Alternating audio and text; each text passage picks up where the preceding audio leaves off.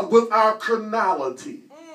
The human mind, the human mind is an enmity, is an enmity against God. It cannot be subject to God and it cannot understand God. But there is a part of you that God has made called your spirit that if you would enter in the presence of God, He will open up your heart and mind to see things that you've never seen before. Amen. Thank you, God. Amen. Thank you. Face to face mean through a cloud or a veil or a fog, but not literally face to face.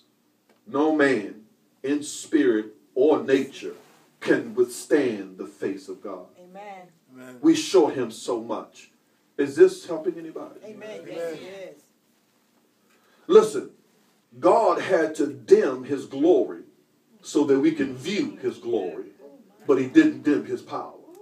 Amen. Hallelujah. If he, in other words, in order for us, you know, what we do when we go outside, Sean, is that so that we can see where we're going, we put shades on. Amen. The sun has not dimmed his power, I mean, not lost his power, but we've just dimmed the light a little.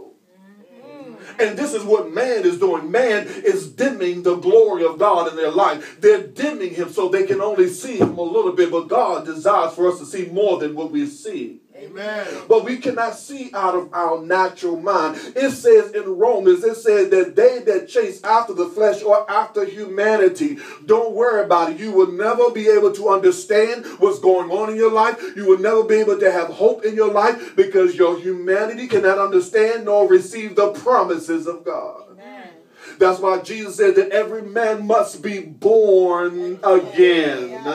And born again of the Spirit, not of the mind, but of the Holy Ghost. Amen. Hallelujah. And we got a lot of people that are sitting in churches today that are that are trying to situate on certain things of God, but not all of God.